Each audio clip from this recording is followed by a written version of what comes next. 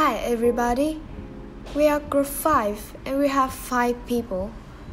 Welcome to our presentation. This video is a chapter summary of our group.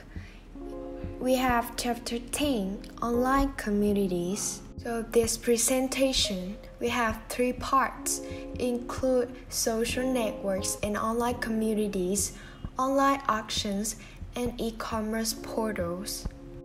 And the first part, online communities. The internet was originally designed as a means of communication to connect scientists in computer science department across the continental United States. It is predicted as a community building technology that allows scientists to share data, knowledge, and opinion in a real-time online environment. With the development of the web in the nearly 1990s, millions of people began to have internet and email accounts and the community building of the internet were encouraged. In the late 1990s, the commercial value of online community was recognized as a potential new business model. The initial on online community consists of a relatively small number of web enthusiasts and users being interested with technology, politics, literature, and ideas. Currently, joining social network is one of the most popular ways to use the internet. More than two-thirds of all internet users worldwide, about 2.3 billion people use social networks. Facebook has over 1.7 billion active users and over 1.5 billion monthly mobile users. While Facebook is the most popular social network, it is also the slowest growing and growing only a few percentage points since 2012. Newer social networks such as Pinterest, Instagram, and Snapchat are growing much faster. And the social networking phenomenon is even stronger with more than 2.3 billion users worldwide. 32% of the world population and still growing at 9% annually. Social networks are the top online destinations in every country, accounting for the majority of time spent online and reaching nearly 79% of active internet users. So let me define what social network is. Social network involve a group of people share social interaction, common time among members, and people who an area for some period of time. And an online social network is one where people who share common time can interact with one another online. We can see some example.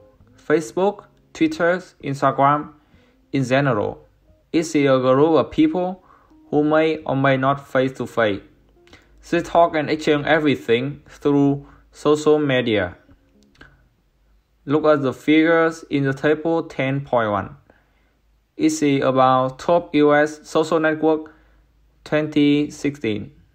As you can see, Facebook has the biggest number of visitors with 206 million per month quickly followed by LinkedIn and Twitter with 127 and 130 and 30 million respectively.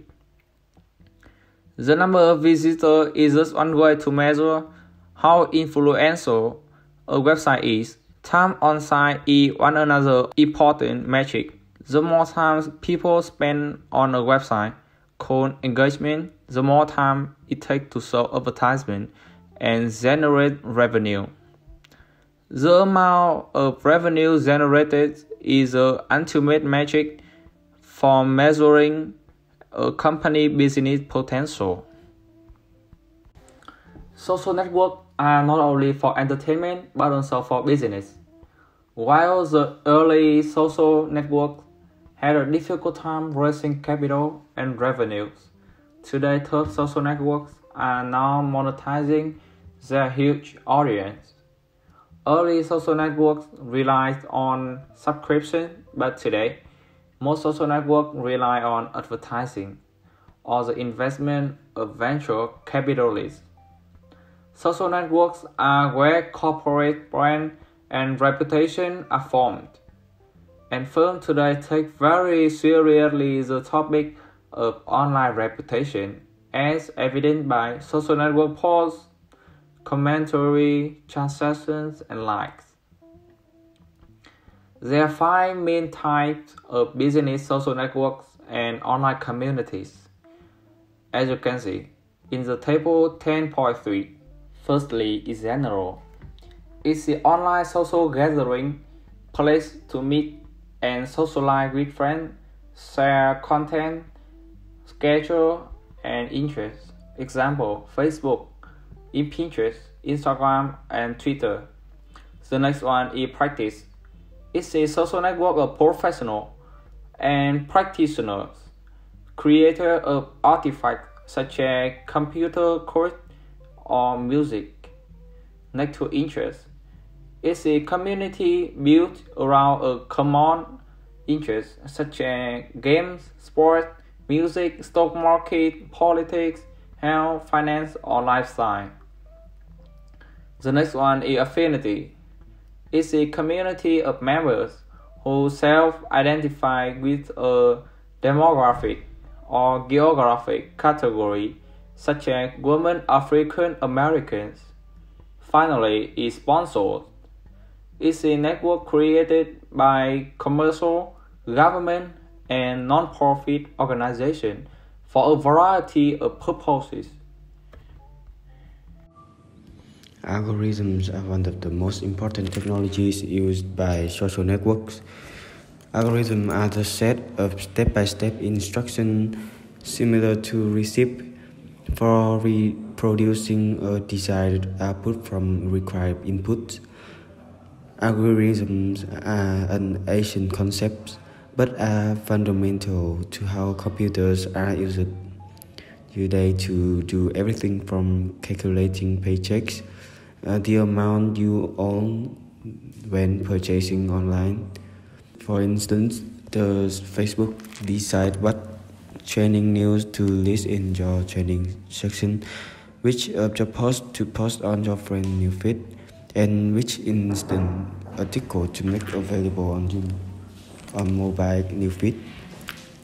While the generic algorithm appears simple, each step in the algorithm is implemented by computer programs involving tens of thousands of lines of computer code and thousands of hours of software engineering and system de development. The data produced by over 167 million users in United States and 1.7 billion other users worldwide requires three data centers in the United States and one in Sweden. A total of million square feet containing tens of thousands of servers are connected by several fiber optic networks. Data center knowledge. The trending algorithms is a complex chunk of code that operate in real time the algorithm is also sensitive to rates of change. If mentioned spike in a short period of time, the topic gets a boost in ranking. The algorithm could not distinguish between a real event versus a phony event. One the vulnerabilities of the trending algorithm is it is sensitive to the number of mentions and the rate of increase over a short period of time.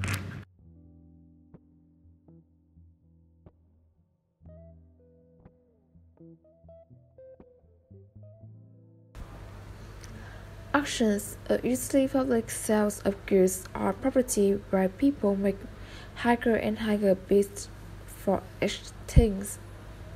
Consumer to consumer C2C auctions. Auctions how act as an intermediary market maker, providing a firms where consumer can discover price and trade. With Business to consumers B2C auctions. Business sells goods is or controls using various dynamic pricing model. Next benefits and costs of actions. Business of actions. Liquidity. Seller can favoring buyer and buyer can favoring seller. Seller and buyer can locate anywhere around the globe. Price discoveries buyer and seller can quickly, efficiently develop price for X items that are difficult to access. Price transparency. Published internet auctions allow everyone in the world to see the asking and buying price for items. For items.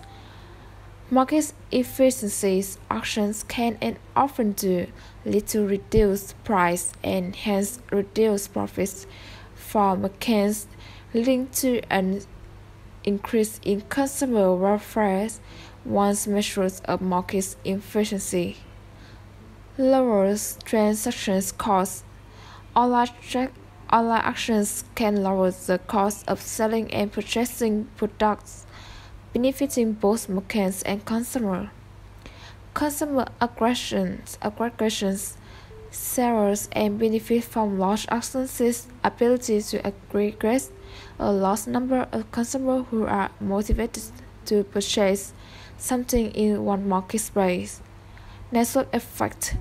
The larger an auction set becomes in terms of visitor and products for sales, the more valuable it becomes as a marketplace for everyone by providing liquidity and several other benefits listed previously.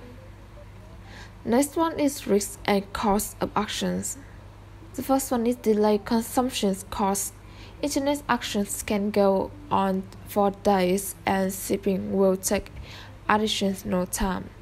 Monitoring things costs participation in actions requires your time to monitor biddings.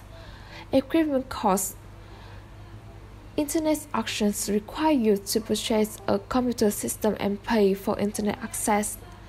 Next one is just risk. Online auctions are a significant source of internet fraud. Using auctions increase the risk of experiencing a lot. Fulfillment costs typically the buyer pay fulfillment costs of packing, shipping, and insurance, whereas as a physical store, these costs are included in the retail retail price. And next one is how can we address these risks? So the first one is providing a rating system in which previous customer rate seller based on their overall experience with the mechanics. The second thing is auction fault First is leading source of e-commerce complaint to federal law enforcement officials. And another solution to high monitoring costs is Irons Nicholas fixed pricing. Next one is auctions and an e-commerce business model. The success of online auctions is qualified, qualified by the fact that the marketplace for online auctions is highly concentrated. In auctions, network effects are highly influential, and the tendency is for one or two very large auctions to dominate. Next, we have some types and examples of auctions. The primary types of auctions found on the internet are English auctions, Dutch internet auctions, name your own price auctions, and so called penny auctions. Now, the first one, the English auction. The English auction is the easiest type to understand and the most common form of auction on eBay.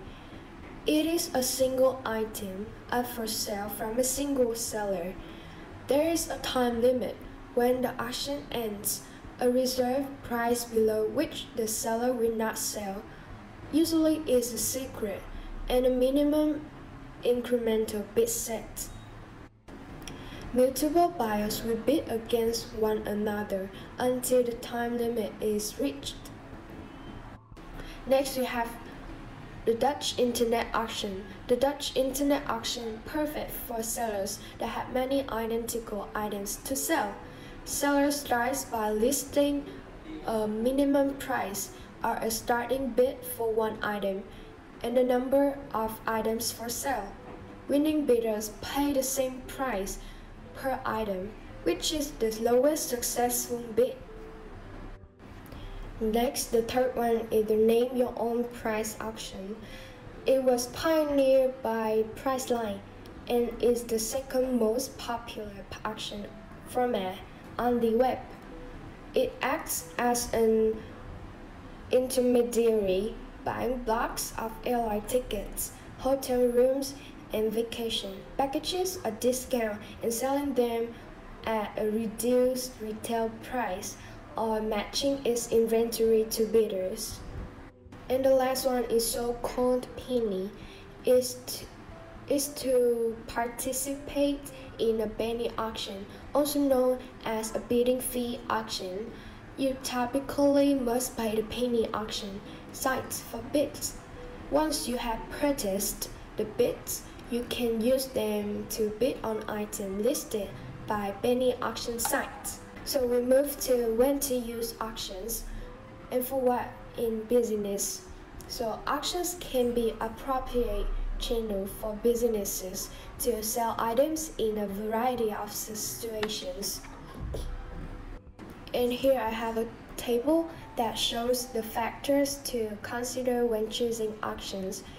Here we have some considerations is the type of product, stage of product life cycle, channel management issues, type of auction, initial pricing, bid increment amounts, auctions length, number of items, price allocation rule, and information sharing. You can have you can look at this a little bit.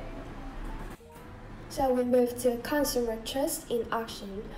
So auction sites have the same difficulties of creating a sense of consumer trust as all other e-commerce sites. The operators of the marketplace do not directly control the quality of goods of goods being offered and cannot directly vouch for the integrity of the buyers or the sellers. So when auction markets fell, fraud and abuse in auctions. Auctions are particularly prone to fraud, which produce information asymmetries between buyers and sellers. And some of the possible abuses and frauds include bid rigging, price matching, defensive shill feedback, offensive shill feedback, feedback extortion, transaction interference, bid manipulation, non-payment after winning, shill bidding, transaction non-performance, non-selling sellers, and bid siphoning. So this will be the last part of our presentation about e-commerce portal. So what is e-commerce portal? It is online platform where buyers, sellers, trading transactions are conducted. Manufacturers and distributors launch e-commerce portal to transit their buyers to an online channel. Portals streamline the buying process by facilitating bulk ordering and enabling volume-based pricing. For easy of understanding, it is gateway to the web pages available on the internet, and its original purpose is to help users find information on the web, then evolve into sites providing a variety of content from news to entertainment. So today, portals serve four main purposes navigations of the web, communications, commerce, and contents. For example, Google, Yahoo, and Shopee. So there are two main types of portals that is general purpose portals and vertical market portals. General purpose portal is attempt to attract a very large general audience and then retain the audience on site by providing in-depth vertical content. While vertical market portal is attempt to attract highly focused loyal audiences with a deep interest in either community or personalized content. Vertical market portal can be divided into main types. That is the affinity group, which are designed to serve aggregate um, of people who identify themselves by their value, belief, and behaviors. The other one is focused um, content portals. They are the size content in deep information on a particular topic that all members are interested in. They can be approached as sport, new weather, entertainment, or finance, or they can appear um, to much more focused groups such as Bloodhound or video game enthusiasts. So as you can see here is some example of general purpose portal and vertical markets portals. And in order to operate actively, e-commerce portal must find the way of generating revenues. So the e-commerce portal can receive revenue from a, a number of different resources. Uh, as you can see here on the table 10.7. The business model is presently changing and adapting to decline in certain revenue streams, uh, especially advertising revenues.